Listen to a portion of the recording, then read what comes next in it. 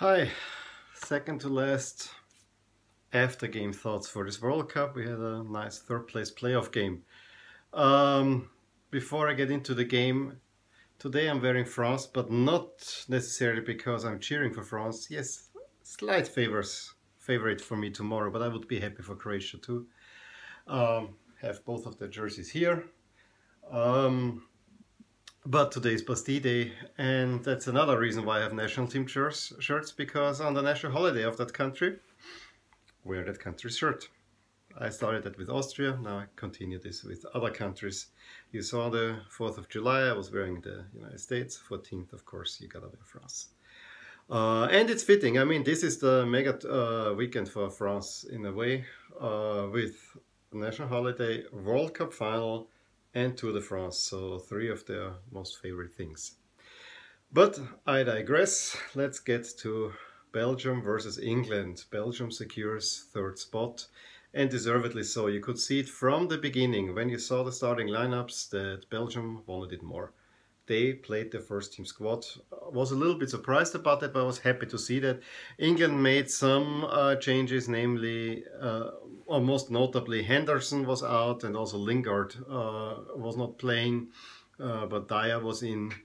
So yeah, um, I think Southgate took this as a glorified friendly, and Belgium wanted to get something out of it, and you know, make their best ever showing at the World Cup.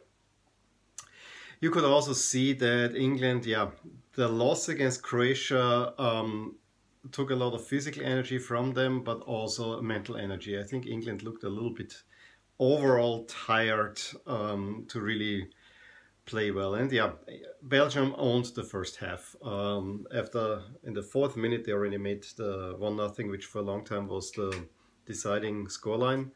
Uh, by Meunier um, was kind of horrible defending by uh, Rose and others in the English defense that just let him run let Meunier, he, he, was the only one around there, let him run and make contact with the ball. I mean, it was lucky. He got it on his knee and it bounced uh, next to uh, Pickford into the, into the net.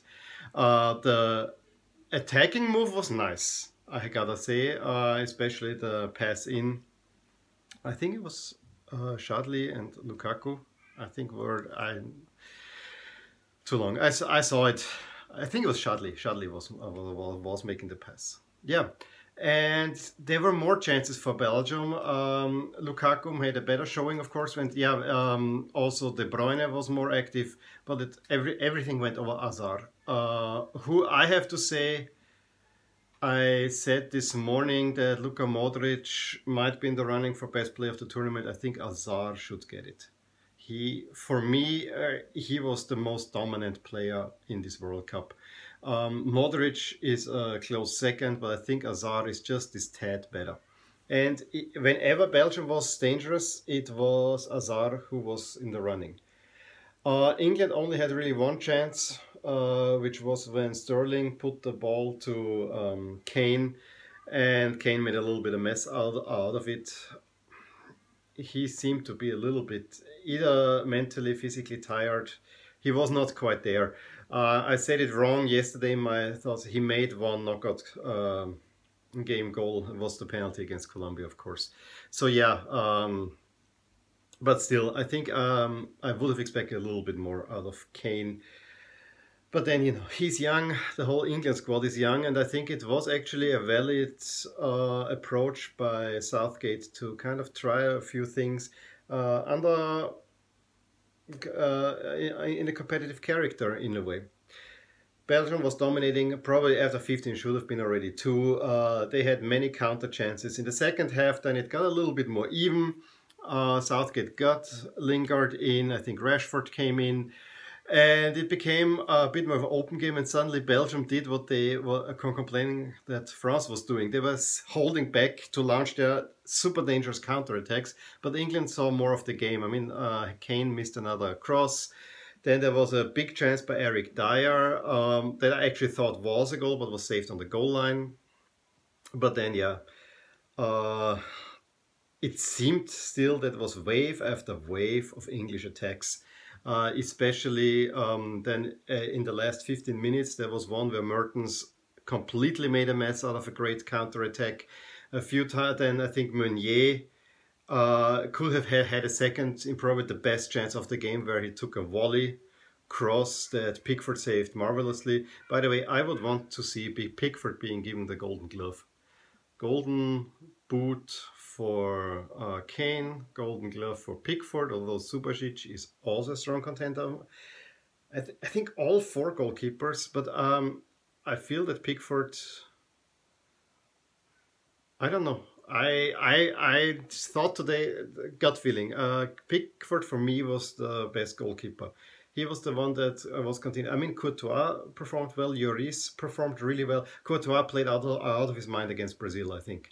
Uh, Lloris made uh, great saves against Uruguay and also against Belgium uh, that were absolutely necessary that uh, saved France the game. Um, Subasic, of course, uh, saved I think a total of four penalties, which is a great thing. But I never, I might be wrong, but I never saw him make a, a great in-game save. But he was kind of the safe goalkeeper for Croatia. But I think Pickford over, overall for me was outstanding. And boy, does he look like a boy. Yeah. So he made a great save on Meunier, who was, yeah, he showed that he was uh, missed in the France game, although I don't think he would make would have made that big of a difference. Uh, he would have given a little bit more balance to the right side of the uh, Belgian attack, but I think overall uh, France had so uh, good control over the game that I don't think uh, Meunier playing would have changed the outcome of the game. Personal feeling, but I, I just don't see it. And then Hazard puts in uh, another goal. Uh, was a little bit to a short corner. Maybe this was the one where Pickford, it looked a little bit strange. I mean, he was running and then he just uh, shot it in the near corner of the goal, uh, which I always think should be the goalkeeper's um, spot where you save and yeah, so Belgium wins third place. I think deservedly so. Um, um, England did well, but I think Belgium was the better team over the entire World Cup. They lost one game, and that was the semi-final. And I also, if people say the third place game doesn't count for much, uh, it leaves always a positive aftertaste. You see players celebrating; they're happy that they won this last game. They don't leave the tournament having lost. Then they even have this little uh, group picture in front of this third place plate. Um, and even the losers are not that devastated afterwards. You leave, you know, hands a little bit. Yeah, we had a nice game. It was a nice experience and we got an additional one. I think in that sense, uh, it's done quite well. And yeah, congratulations Belgium. I think when the game ended, no, I don't think I know. Uh, I just was standing clapping in front of the TV for both teams. I think both teams uh, made this tournament a better tournament. It was also funny that they played both in the same group. Lastly, jersey matchup. Yeah, looked nice. I would have seen it differently, but um, yeah, I guess they wanted to sell more yellow shirts or maybe England backed Belgium. Please let us play in the red shirts because they are lucky shirts. Now I could retire shirts, but I actually want to do something different. I have here the two finalists up here, as I already said, and I want to put them now up for third and fourth place and not retire them because the four teams that made it to the semifinals, they are the ones that really deserve all the honors. Third place goes to Belgium, my newly acquired Belgium jersey, and I'll be wearing this tomorrow. I said the one who wins third place I'm gonna wear tomorrow. So I'm very happy this will be the first time me wearing this Belgium jersey for real. Yesterday I was already wearing the English jersey, so you've seen it, but yeah. Great tournament, England. I'm looking forward to see more of you in the future. Yeah? I really like this jersey. I'm going to say more in a dedicated video about it. Uh, there's something really nice in the classic feel to it. Well, that was it for the third place playoff. And you already can watch my previews for the final. And I will talk to you the latest tomorrow after the final. I might have some last minute thoughts on the final. Who knows? Up until then, hit like and subscribe if you enjoyed this video and I will talk to you soon. If you enjoyed this video, please hit like and subscribe to my channel. If you've already done so, I would like to thank you for your support. It is very much appreciated. Also, check out the accompanying blog at the link provided in the description below and at the end of this video. Thank you for watching and until next time.